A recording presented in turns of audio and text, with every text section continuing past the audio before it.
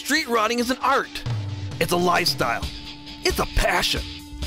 Guys and gals of all ages in communities all across this great land of ours are designing and building street rods that deserve a thumbs up. Our mission? To find these works of art and showcase them so that this passion is never lost. Because street rodding is more than just a hobby, it's an addiction. This is Street Rodding American Style. It's a little low for my taste, but I can handle No, it. No, wait a minute, What drew me to this car was because it sits low. It's perfect. It's got the perfect rake to it. You like it higher?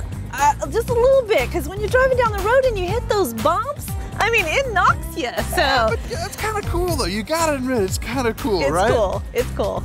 That pressure cooker was so ingenious for an air filter. Okay, where did you get that idea? Actually, it was a buddy of mine's idea, and he started it, and I finished it. Uh, we took actually a shotgun to it, if you can see. Okay, is that where see, it's got pits and the stuff. pits are? Yes. Look at the front of this thing, and it's got this license plate that says law bender. Now I gotta know, man, this thing's bad rolling down the road. I know if I was driving, I'd probably be breaking some laws, breaking some rules. Are you bending the law on this thing, dude? Well, because of what I do, the fact I'm a police officer, I don't What? exactly law break, but I might bend a few rules here and Now there. we're so- talking, man. That's rad. This thing is cool, dude. When I say rat rod, is this full definition of rat rod or is this a nostalgic rod? What would you call this? I would call it a rat rod. It is a rat rod. What is your definition of a rat rod? a piece of crap.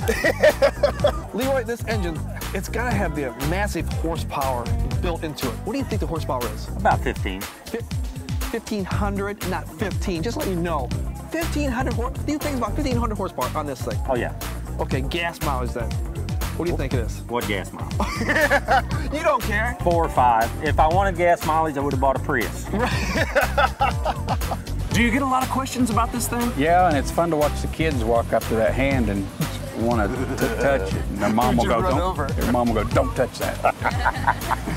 One of the big details, I think everybody notices when you come in, especially when they hear it, Yeah. that supercharger. Yeah, the supercharger does make a little noise. 671? 671. Why'd you go 671? Why'd you need a supercharger?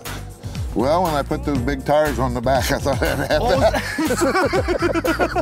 Rat rods think outside the box. Yeah. They don't go with the same thing everybody else. Everybody puts their own personal spin on it. Yeah. So, you know, it's got a, a old whiskey bottle for an overflow. Yeah, you, know, put your own personal spin on it right here with the oxygen Yeah, bottle. it's old, so I stuck an old oxygen bottle on it because, you know, it's so old it needs oxygen, you know, just to get down the road.